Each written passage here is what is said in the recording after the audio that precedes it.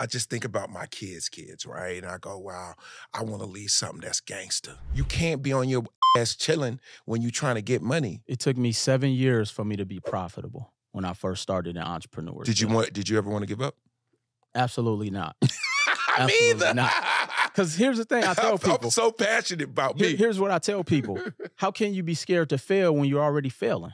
You're not at the lifestyle you want. right.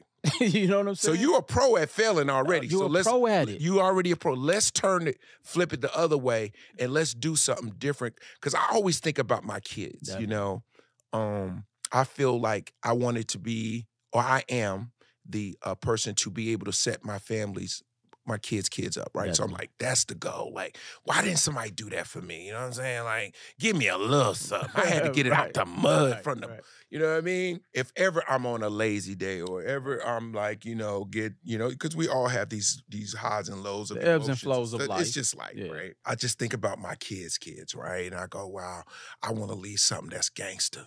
You know what I mean? And I started surrounding myself. This is something else I want to share with people. Start surrounding yourself with people that you want to live like Oh man. the information, the conversation that you will when you're around other entrepreneurs, Yeah. it doesn't matter if they got more houses than you. It don't matter. Just be around them. It's different. man. Be around them. Stop being around people that are negative or that are not feeding your dream or that aren't as ambitious as you. right. Have somebody start cultivating your group, your circle. Change a few people out, put some positive people in there, put somebody in there like Will Roundtree, somebody like Valerie Mosley, somebody who's who just sold a company.